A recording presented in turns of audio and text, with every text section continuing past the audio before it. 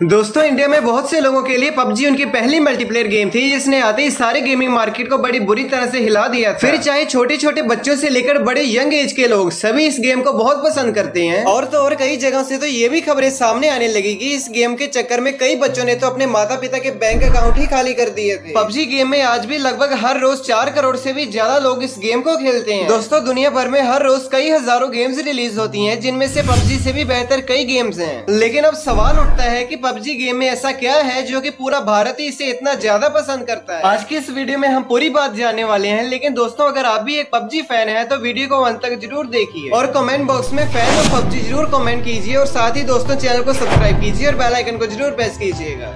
PUBG game ने आज 2.8 billion dollar या कहें इक्कीस हज़ार करोड़ से भी ज़्यादा की कमाई कर ली है। और पबजी की इतनी ज़्यादा कमाई होने का पहला कारण है उसकी टाइमिंग पबजी का सबसे बड़ा यूज़र बेस भारत ही है। और पबजी गेम ऐसे समय में इंडिया में लॉन्च हुआ जब जियो का नेटवर्क घर घर तक पहुँच चुका था, जिसके चलते हर एक को एक अच्छा नेटवर्क मिल चुका था। पबजी जैसे गेम्स खेलने के लिए पहले के टाइम में आपको कंप्यूटर या प्ले स्टेशन होना ज़रूरी था, लेकिन अचानक से भारत में मोबाइल्स का ट्रेंड भी चेंज हो गया था, और हर किसी के पास एक बढ़िया स्मार्टफ़ोन भी मौजूद था। और इन चीज़ों को देखते हुए पबजी ने भी अपना मोबाइल वर्जन रिलीज़ कर दिया। साथ ही पबजी एक फ्री गेम थी और किसी भी प्लेयर को इसे खेलने के लिए कोई पैसा नहीं देना पड़ता था। और उस टाइम हर किसी ने इसे डाउनलोड करके खेलना शुरू कर दिया। और अगर आपने एक बार पबजी डाउनलोड करके खेलना शुरू कर दिया तो पबजी अपने हुक मॉडल को एक्टिवेट कर देती थी। लेकिन दोस्तों, अभी आप लोग सोच रहे होंगे की आखिर पबजी का ये हुक मॉडल आखिर क्या चीज़ है? तो दोस्तों, पबजी के इस हुक मॉडल को समझने के लिए आपको इसके कंपोनेंट्स को समझना होगा। जिसमें से पहला था ट्रिगर अब ट्रिगर यानी कि वो चीज़ जो आपको पबजी खेलने के लिए मोटिवेट करे। लोग बोर होने पर कोई अच्छी सी गेम खेलना चाहते थे तो पबजी ने उन्हें फ्री में ये गेम दी। इसके बाद अब लोगों के दोस्त भी पबजी खेल रहे थे तो उन्होंने अपने दोस्तों को भी ये गेम खेलने के लिए इन्वाइट किया। लेकिन दोस्तों, अगर पबजी में आपके दोस्त ये गेम नहीं भी खेल रहे हैं तो हर दिन पबजी में सिर्फ़ लॉग इन करने पर ही लोगों को एक फ्री में डेली रिवॉर्ड मिलता था, जिससे लोगों को इस गेम में एंटर होने का एक लालच मिलता था। और एक बार गेम में एंटर होने के बाद ऐसा तो हो ही नहीं सकता कि लोग इस गेम को ना खेलें। और तो और दोस्तों, जब आप पबजी गेम को खेलना शुरू करते हैं, तब आपको इतना नहीं पता होता कि आपको कौन सी गन्स मिलने वाली हैं। और सबसे बड़ी बात, आप ये भी नहीं जानते कि आप गेम भी जीतने वाले हैं या नहीं। और अगर आप कोई गेम जीत भी जाते हैं तो पबजी का एल्गोरिदम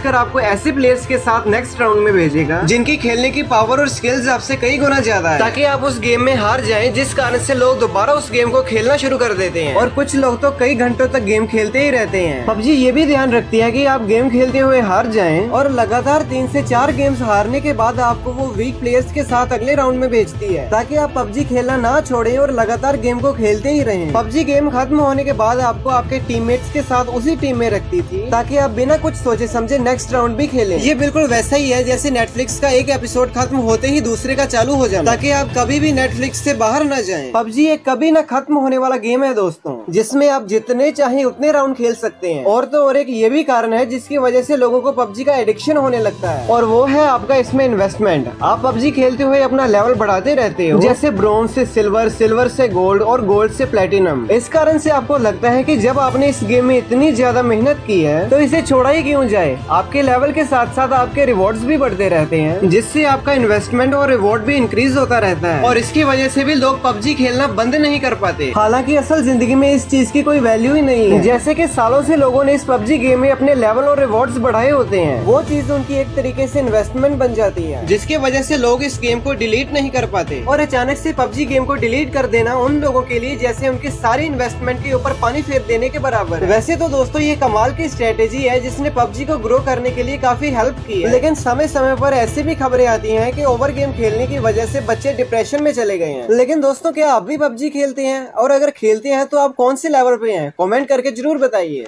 और इसी के साथ दोस्तों, आज की वीडियो को लाइक करके चैनल को सब्सक्राइब कीजिए और बेल आइकन को ज़रूर प्रेस कीजिएगा।